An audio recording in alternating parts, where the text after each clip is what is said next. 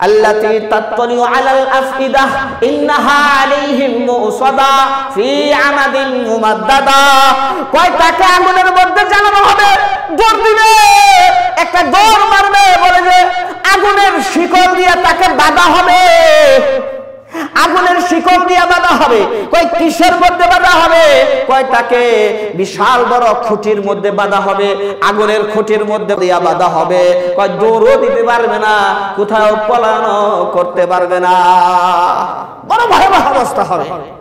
এই জন্য ভাই, খেয়াল রাখব, মাল জমা করব এই নিয়তে যে এই মাল আল্লাহ রাস্তায় খরচ করব। সাহাবাইকেরা এই নিয়তে জমা করতেন। যখন মাল কামাবো আল্লাহ রাস্তায় খরচ করার জন্য, আপনার মাল কামানোর মধ্যে সব হবে।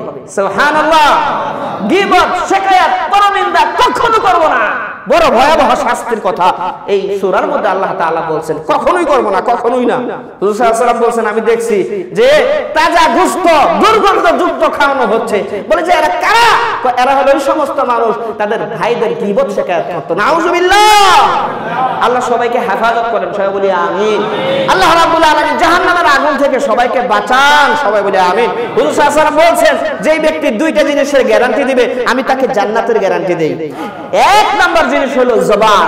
এই জবানের হেফাজতের গ্যারান্টি যে দিতে পারবে, আর লজ্জাস্থান হেফাজতের গ্যারান্টি যে দিতে পারবে, আমি তাকে জান্নাতের গ্যারান্টি দিয়ে দিলাম।